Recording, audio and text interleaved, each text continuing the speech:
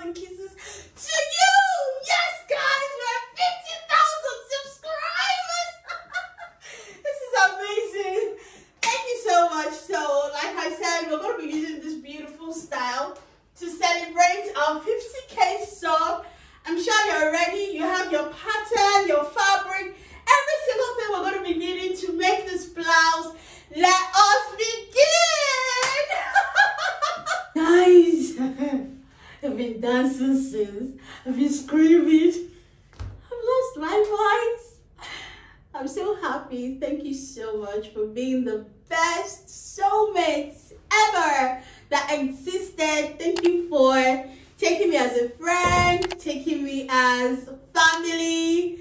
Um, thank you for your support. I am super duper grateful. You guys are just the best anyone could ask for in this space. Okay, so guys, I just quickly want to mention that we are going to be resuming our Sew with HN Clothing's March edition. Okay, so this uh, Sew with HN Clothing's is going to be different, it's going to be unique. I've learned from the past that you guys don't like complexity in anything, you love soft life, and this year I'm giving you soft life in pattern, oh, in sewing, oh, I'm doing everything soft live okay? So if you are interested in joining the show with hm clothing's march edition registration is now open. You're going to be seeing the flyers real soon okay? So um it's 5000 naira and we're going to start on the 7th of march.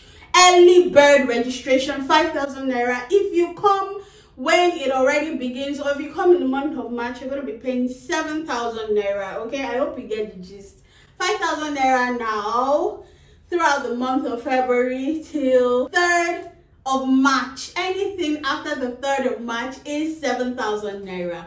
Okay, it promises to be fun. It promises to be very, very explanatory. You've been seeing the videos we've been putting out this year. It's been very detailed, simple, simplified, no more complexity in drafting. Say no to difficult drafting okay? So we're going to be bringing in easy life soft work everything from the scratch. Anyone that joins in and there's a plus to it.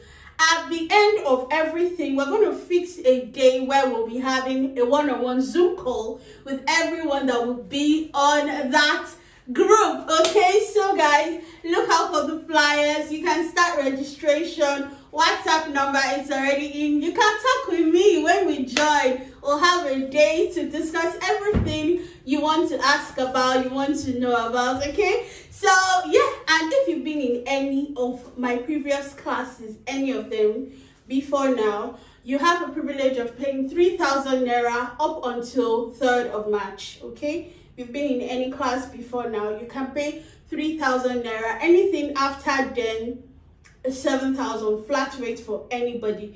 Yeah, so we've spoken about that please look out for the business side of fashion. It's coming soon. I'm still trying to get all these people. It's coming soon okay? I'm so excited. Let's focus. All right so i have this ankara print this is what i'll be using because the skirt is this fabric. I'm also going to be using this. You can use any kind of overlay. This will give it a very nice overlay. So i have this stay for the flap part sturdy and nice. I can either use this or this to give it that structure. Can use any peplum stay that you have. And then i have my pattern. Let us begin drafting. All right guys so we're going to first of all start with uh first um we're going to start with the front. I have to the half length to my half length and i have a pattern with the shoulder that so for the neck i'll do a basic neck three and a half by five inches.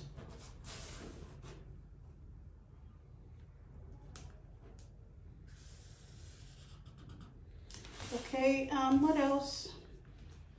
That's just about it. We're doing a shoulder princess dart for this pattern. We're also going to tighten here. I'm going to tighten by half an inch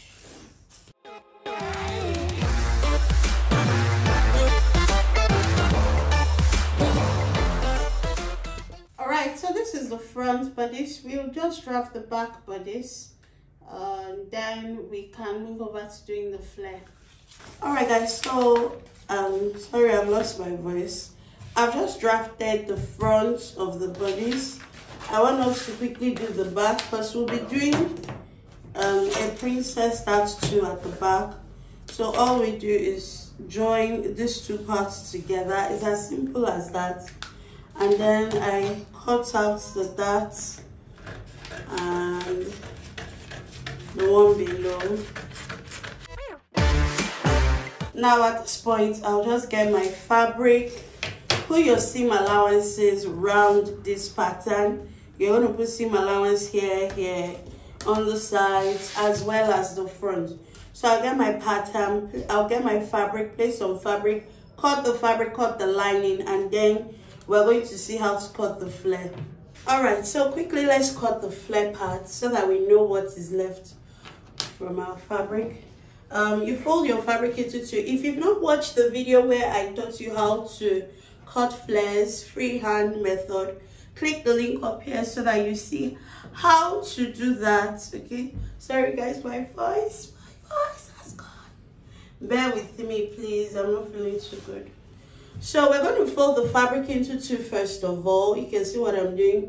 Fold your fabric into two.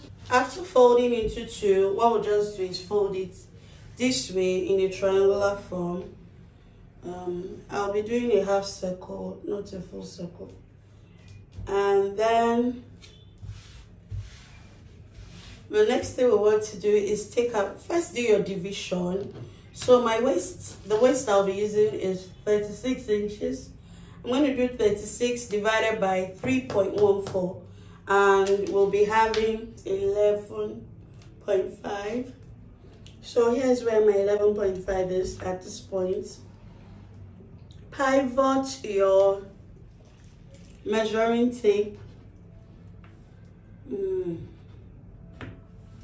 Great. And then from there you want the length of your peplum. How long you want the peplum to be? My blouse the half length will get to about 15 16 inches. And i want the blouse to be about 25 inches long. So i'll just use 10 inches which includes the sewing allowance. That's for turning the lining with the just turning the lining with the um, fabric. So this is just what I'll be cutting out.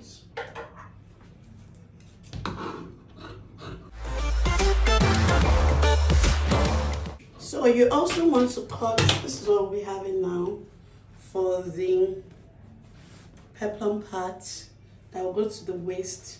Let me even see how many inches we have up here. Because if you look at this peplum very well the design is kind of like overlapping. So we may be separating to overlap somewhere somehow. I'm going to explain what to do there when we get there. At this point you also want to cut the flare the one that is standing up right there on the shoulder part. So to do that i'll fold my fabric again into two because i want it double. Um i'll be using a total length of about 20 inches there. So I'm going to use this part to do the um, fold. So just fold it properly. And then we're going to be dividing 20 by 3.14 you can increase it. So 20 i took 20 from like what you can see in the picture here. Um i'm having 6.3 i'll just do 6.5 for the radius do 6.5 and then pivot to however i want. Fold it to a triangle of course. 6.5 6.5 i doubled it so that i'll have one serving as the lining and the other one as well. So from there i'll just measure six inches. I don't want it too long or you can do 6.5 inches. So six inches is fine just measure six inches around. You give me one look, and baby, I'm all right guys so we are done cutting every single thing man. It's a lot of work to cut. I cut the peplum stand the one that will make the peplum have that stance. And then we'll be using this beautiful um what will i call this now? A see-through kind of lace kind of applique on the ankara around it to give you that pop okay this one will um this one will be a substitute for that Chantilly lace that you can see on the design. Cut it for every single one, front, back. Cut the peplums, okay? And then the stand for the peplum. This is actually a peplum stay. It's a net, it's using in bridal. You can check the market when you go to the market. You just want something bouncy that will stand and give it that structure. Okay so that's what i use. So i've got every single thing the lining every single thing up. Now we'll just go over to start sewing them up yeah? Sewing padding. And as i'm sewing i'll take you along the process. Yes yes yes. For that peplum there's a kind of design going on there let's quickly talk about the design um first of all it's not just round like this peplum i'm wearing it's not just round um, the design for the peplum has like an overlapping in the front. There's kind of like an overlap. So we're still going to trim some, we'll trim one part. One part will be normal, we'll trim the other side. We're going to slash this. Let me be doing it as I'm saying so that you see what I'm doing. Alright, so um, I will cut this first because it's separate. This will be where the zipper will be going in and i'll separate this one too. That will be the zipper area. And then for one of them i won't i won't just string both together. You want to use your chalk and just create a kind of design going on. I'll do that on yeah let's do that for both. All right so we will just like use your eye and eyeball it how you want the shape to come out. You like whiskey in my veins. this looks good already. All right so if i need to trim any other thing before sewing i'll do just that. Now let's just go over to the sewing machine and join all of this up together. All right guys so um, we're going to start sewing this peplum stand. First of all you know we have three pieces. This one that will give it the structure and then these two ankara fabric. One both of them will just be you know because it'll be nice to line it with the same fabric so that it looks good. So this one this stay should be um, sandwiched in between. How do you make that possible? Put the two ankara fabric together and then the stay at the end so that by the time you sew it along the circumference of the perimeter and you turn it um, inside out right the stay will be sandwiched in there. I hope you get the gist. So let's quickly sew this up. So roll it around, getting lost in the sounds.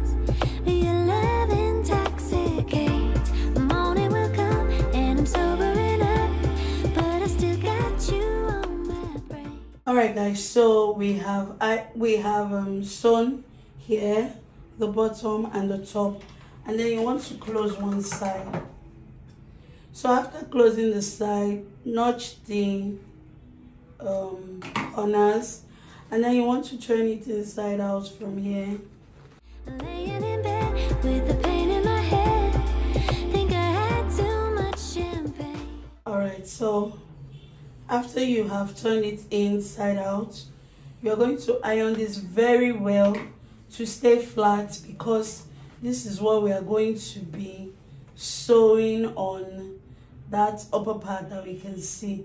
You're going to iron it flat and then we'll form the design there. All right so let's move on. All right guys so far so good. Um through assembling all these things um here is the main fabric and you can peep the um, netting that we used there on top of the Ankaras, giving it some nice look. The lining too was joined separately, front, back, everything. This one is the one um, that will be attached into the sleeve area from the neck to the sleeve area. And then we have these two peplum pieces. Remember, it's going to overlap, okay, all the way to the back. It may not overlap so much, all the way to the back, right? So what we are going to be doing now is assembling the other parts and putting in the zipper. So first of all, we'll sew this into this area like this. It'll be attached this way. Um, so the other one too into the area. So you see, you peep the overlapping going on there. If you want it to go in more, you would have to increase the circumference you cut. So we have that, we'll do that, and then we'll put in the zipper before we now turn it with the lining so that we can still have the enclosed um, sewing going on, okay? So I'll take this to my sewing machine and sew this up, every single thing up. Too much champagne. Oh, where do the evenings go? Bathing in the glow. You go to my head. Alright guys, so far so good. Um, everything is looking pretty. We've sewn the um, garments. Let me but everything has been sewn armhole with the lining is been turned on the neckline um, the zipper has been installed and we're having this going to fill it i'm going to close it up with a needle and a thread close that part up so all we need to do now is to install the sleeve here is the sleeve already worked on um, I'll just be installing this into the bodice, right? For both the left and the right hand side. And this is the design that will be used for the um, style element on the blouse, okay? So that's about it though. We're almost done. Hey, hey, hey, hey. Kind of a long one. Okay, um, let's pin up the sleeve at this point. You got to my head. Play it again.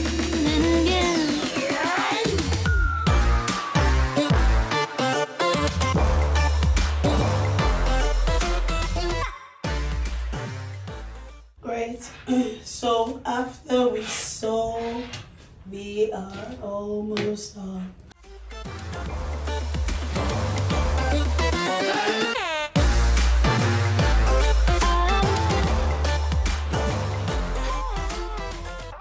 All right guys so we are already done. It's just to infuse this style element into the pattern. So I will want to take it this way. Okay, I want to take it this way and then put it this way. You can freestyle. If it was longer, I could have added some pleats, but it's not long enough. So um, try and increase the length when you'll be doing yours just freestyle with the design this one will be held with the with the hand stitch okay so let me pin it this way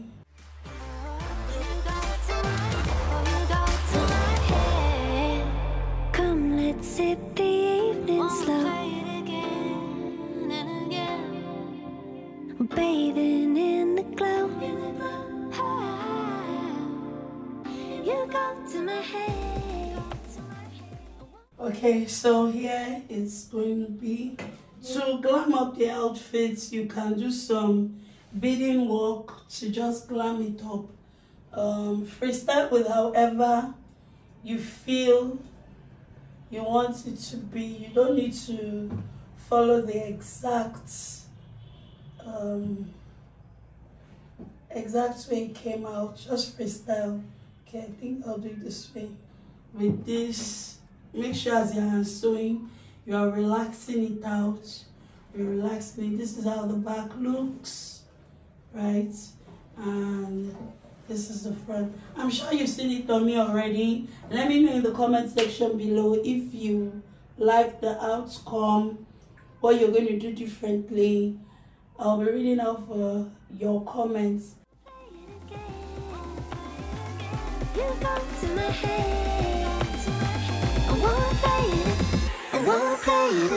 it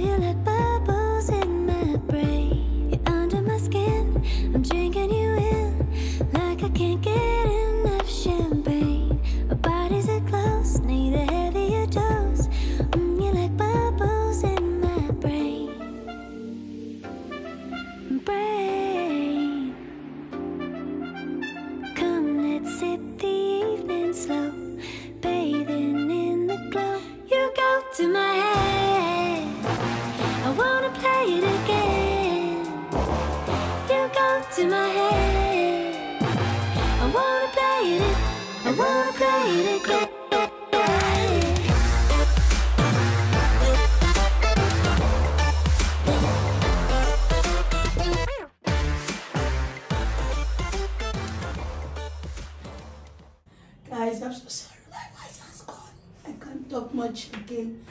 Alright guys, do not forget to subscribe, do not forget to comment, like, share my video. Till we see in our next tutorial. Stay safe, God bless you all. Bye. You give me one look, and baby, I'm shook. You like whiskey.